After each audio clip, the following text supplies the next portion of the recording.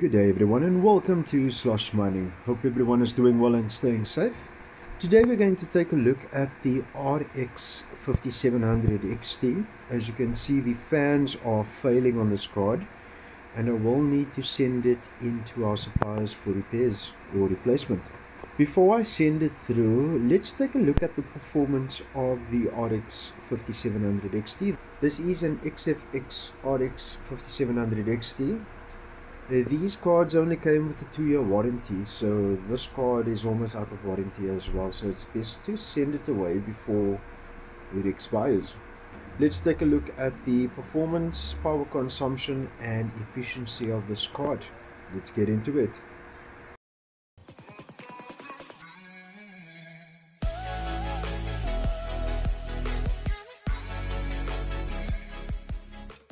Today we're going to be testing the RX 5700 XT with GMiner 2.99 and test four different algorithms BTG, Ethereum, Ravencoin and ZelHash which is Flux.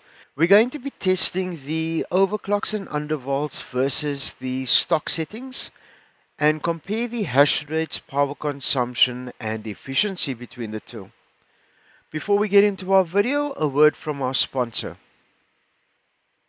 ggminer.co.za is an online store based in South Africa specifically for mining hardware, where you can find mining power supplies, cables, mining frames, mining motherboards, and risers to build your mining rig.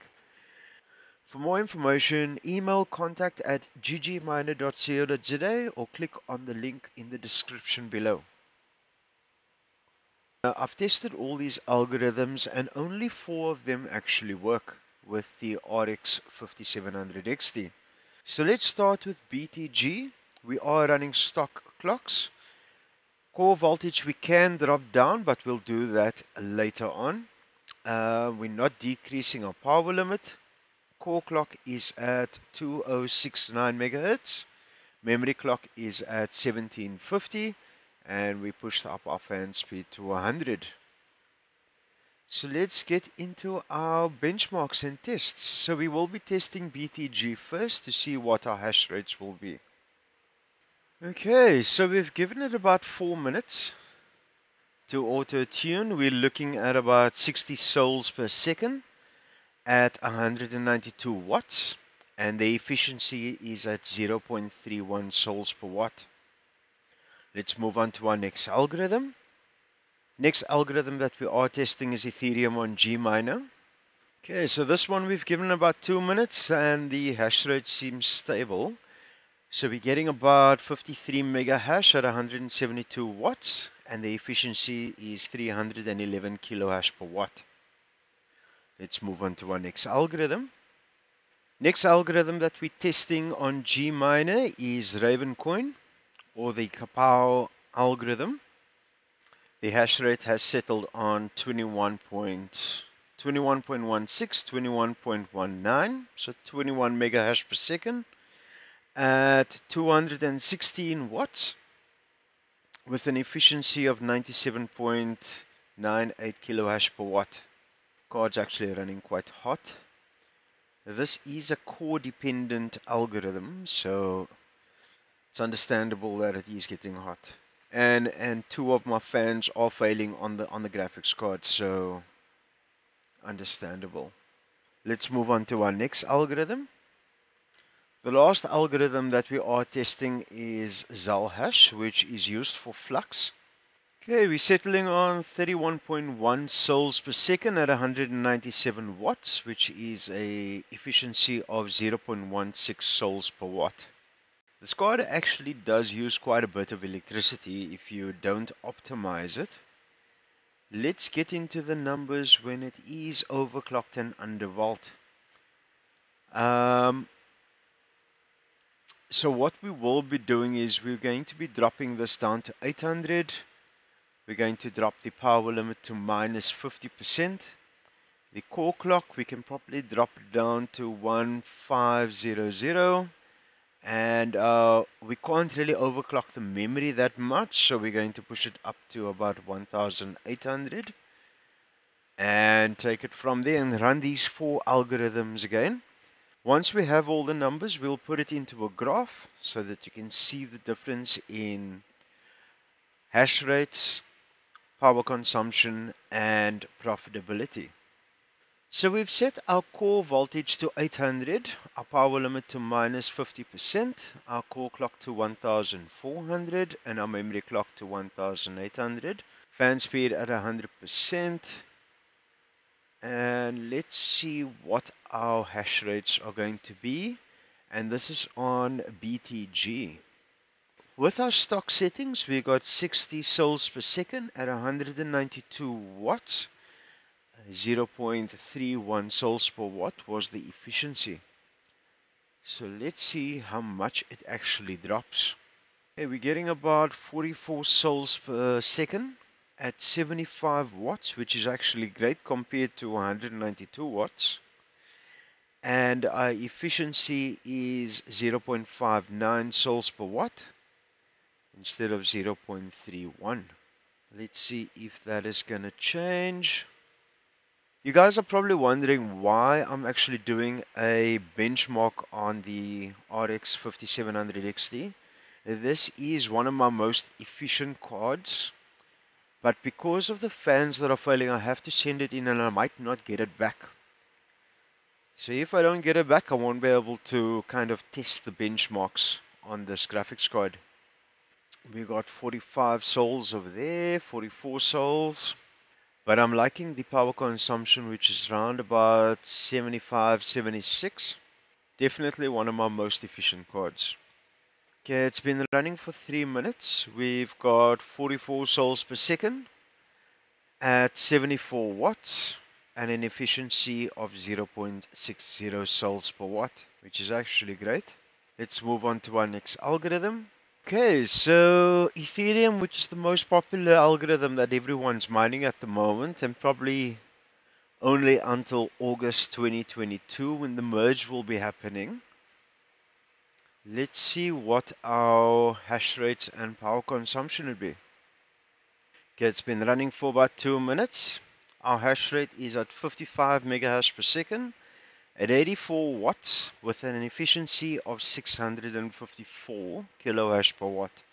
I've tested this on Hive OS and I can't seem to get this down to 800.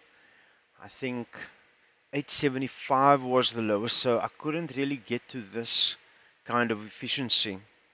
Um, on Hive OS, I think I got about 104 watts or about 100 watts. That was the lowest that I could get. I might test it again just to make sure, but this is the lowest that I've seen that I, and that I can get, which is on Windows. 84 watts with an efficiency of 654 kilowatt per watt. I don't think much cards are this efficient. Let's move on to our next algorithm. Next algorithm is ZelHash which is used for flux. And ZelHash, you probably have to use more um, core or more power to get higher hash rates.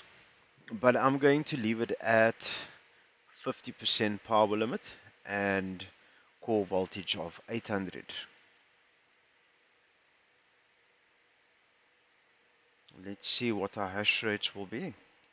Just to put it into perspective, with no overclock and undervolt, we got 32 sols per watt.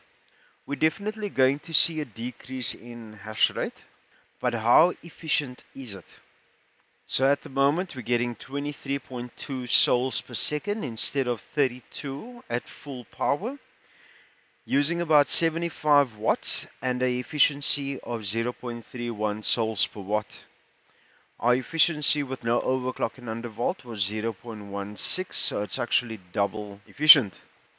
Hash rate has dropped from 22, 23, and we definitely see a decrease in power from 198 to 75 watts. Let's take a look at what to mine to see how efficient these algorithms are and what our profitability will be. Before we get into our profitability, let's look at what our coins are doing at the moment. So Bitcoin is trading at $31,323. Ethereum is trading at 1861. Ethereum Classic is trading at 22.21. Okay, so we filled in our hash rates and power consumptions for the four algorithms. Uh, we've got Ethash, Zhash, ZelHash, and KawPow. We are using about 18 cents per kilowatt. If you're using about 10 cents per kilowatt, your profitability will be a bit higher than what we're actually getting.